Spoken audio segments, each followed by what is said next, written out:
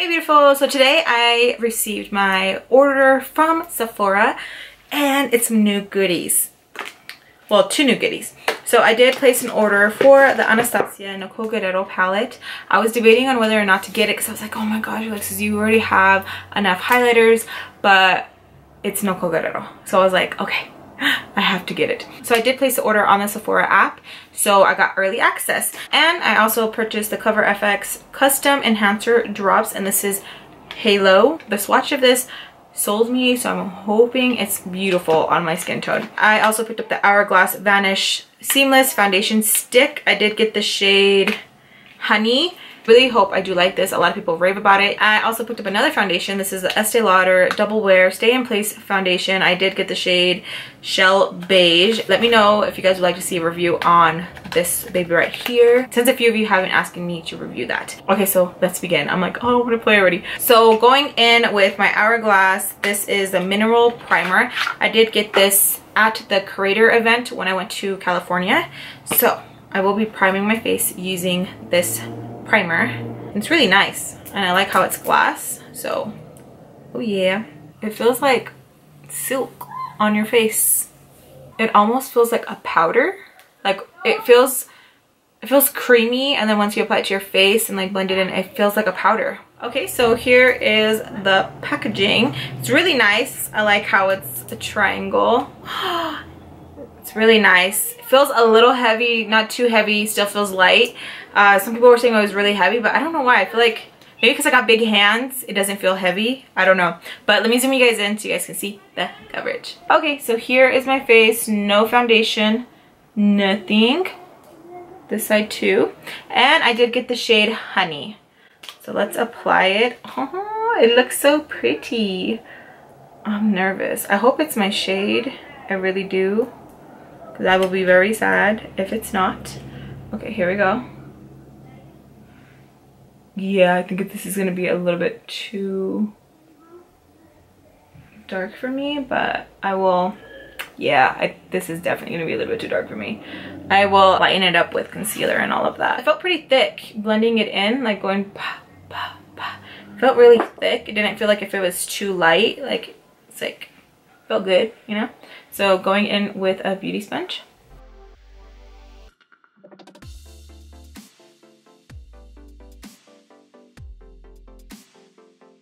Here it is, foundation, no foundation, foundation, no foundation. So it definitely did give me some coverage light coverage. I know you can build the coverage up because I've seen it so many I've seen it on so many tutorials where people build it up. So I'm pretty excited. So I do want to go in with the Silisponge. I want to see if the beauty sponge soaked up a lot of the product. So here we go. It's so crazy. I get to do like those lines that the cool YouTubers do. It's like ha ha ha. Okay, now going in with this.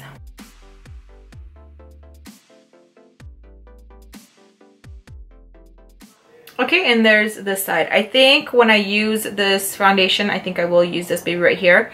Just because I feel like I'll have to use more of the foundation if I use a beauty sponge. And the foundation is pretty pricey, so uh, I want to make sure that I don't waste any. So I will be using this baby. You guys let me know which side you guys like. This side?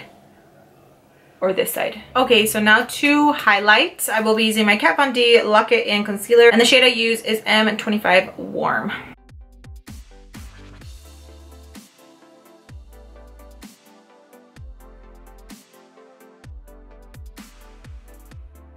Okay, so I don't want to set my under eyes just yet because I do want to go in with the Cover FX Custom Enhanced Drops. So this is how it looks.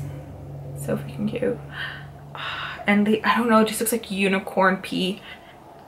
Would it be pee or would I say? What would be like, I want to say like tear, oh, it looks like unicorn tears. There you go, that sounds a lot more cuter, Alexis, than pee. Gosh, you're such a cochina. Okay, so there it is right there.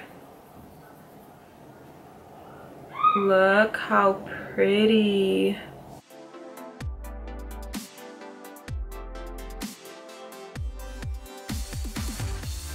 I'm just going to apply a little bit to the back of my hand and then go in with the back of the beauty sponge.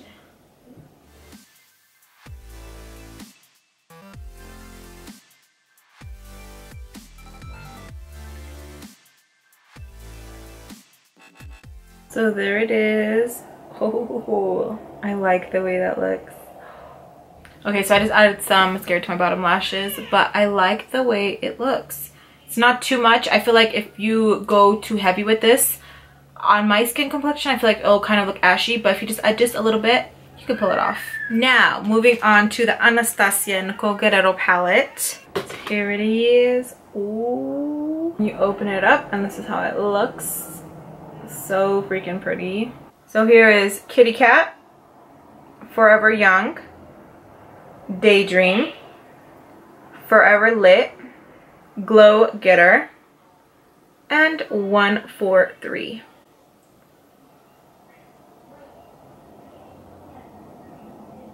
So going off the swatches, I think I will be applying Glow Getter. Ba-boom, here we go, okay? Here we go.